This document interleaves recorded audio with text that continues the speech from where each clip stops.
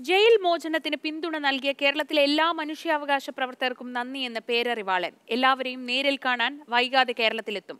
യാത്രകൾ ഒരുപാട് ചെയ്യാനും മനുഷ്യരെ കാണാനുമാണ് ഇനിയുള്ള ആയുസിൽ പ്രഥമ പരിഗണനയെന്നും പേരറിവാളൻ ചെന്നൈയിൽ മാതൃഭൂമി ന്യൂസിനോട് പറഞ്ഞു.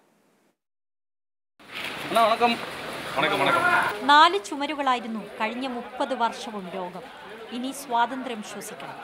നിറയെ മനുഷ്യരെ കാണണം. യാത്രകൾ ചെയ്യണം ட்ராவல் பண்ணோம் நிறைய மனிதர்களை பார்க்கணும் நிறைய இயற்கையை பார்க்கணும் நாலு செவத்துக்குள்ளே வாழ்ந்தேன் இல்லையா முப்பத்தோரு வருஷமாக அதனால் கொஞ்சம் எல்லாத்தையும் பார்க்கணும்னு ஆசை இருக்கு കേരളത്തിനോട് അവിടുത്തെ മനുഷ്യാവകാശ പ്രവർത്തകരോട് തീർത്താൽ തീരാത്ത നന്ദിയും കടപ്പാടുമുണ്ട് ஒரு சில கடமைகள் இருக்குது தமிழ்நாட்டில் அது முடிச்ச உடனே மனசு வந்து கேரளா வரணும்னு தான் சொல்லியிருக்குது நிச்சயமாக நான் கேரளாவுக்கு வருவேன் ரொம்ப விரைவில் வருவேன் അറിവിൻ്റെ അമ്മ അർബുദ അമ്മാളിനും കേരളത്തെക്കുറിച്ച് நூறு நாவு கேரளா எனக்கு ரொம்ப நெருக்கமானது கிருஷ்ணகிரை பார்த்ததே என்னால் இன்னைக்கு கூட மறக்க முடியாது பயப்படாமல் இரு கண்டிப்பாக உன் மகன் வருவான் அப்படின்னு நிறைய துணையாக இருந்தார் വിവാഹാലോചനകൾ വരുന്നുണ്ട് പറ്റിയ പങ്കാളിയെ കണ്ടെത്തണം நாங்கள் சொல்லிடுறோம் அது இவங்கெல்லாம் சொல்லுவாங்க இவங்க தான் அத்தாரிட்டிஸ் இவங்கெல்லாம் தான் ஆக்சுவலாக அலைன்ஸ் பார்த்துட்டு இருக்கோம் நீங்களும் கூட சொல்லலாம் ஆமாம் நீங்கள் அங்கே அங்கே இருந்தால் கூட கண்டிப்பாக அலைன்ஸ் நம்ம பார்க்கலாம் അദ്ദേഹം മുപ്പത് മുപ്പത്തിരണ്ട് വർഷങ്ങൾക്ക് പിറകാണ് ജയിലിൽ നിന്ന് പുറത്തു വന്നിരിക്കുന്നത്